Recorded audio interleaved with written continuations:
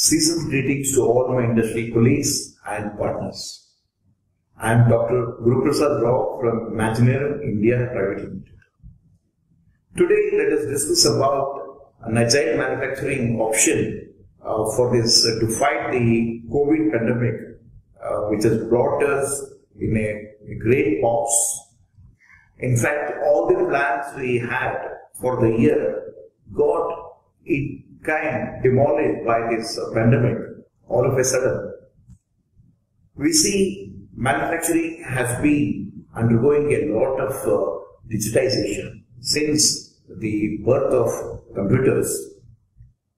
We have seen the industrial revolution 1, 2, 3 and we are heading towards industrial uh, revolution 4. We call it industry 4.0. And if we look at the manufacturing processes, we always knew there is a subtractive uh, manufacturing, there is a additive manufacturing, and there is a formative uh, process by which we created all things around us. 3D printing is that new order wherein we are making products directly from CAD to part. You know. And in fact, it is giving us a greener manufacturing option because of the less scrap. It takes just the material what is needed. In fact, the world has different connotations of the term 3D printing. For different people, it is different. Some call it as SLA, some call it as SLS, some call it as FDM, and there are many more. So that brings us to the definition of 3D printing. What is 3D printing? So 3D printing is a set of technologies, not just one, that make the objects or the items or the products by layer upon layer using digital input data. You know, that data can be from a computer, from a medical image data, or it could be from a scan data. You know. Today this technology is making deep inroads in every possible sectors of industry, such as aerospace, automotive, FMCG packaging, uh, you know, tooling, electronics, white goods, and much more. You know. And what makes 3D printing so important to all these sectors? One thing, we can have part consolidation. You know, you have a number of parts, you can combine them together and get a assembly uh, of uh, a subsystem that is possible. We can go for jigsaw fixtures, uh, you know, quickly. We can make parts which are very light in weight.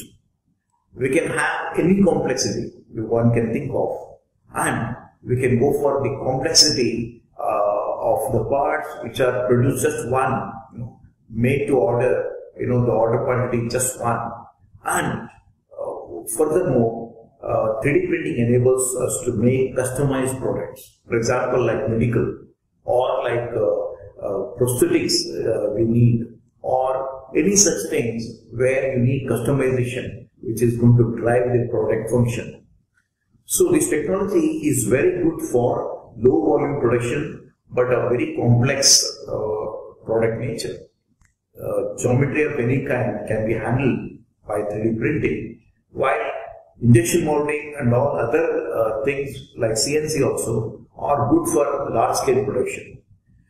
We have uh, GE's LEAP engine nozzle tip uh, can be taken as a very good example where a part, 20 parts were consolidated to one part.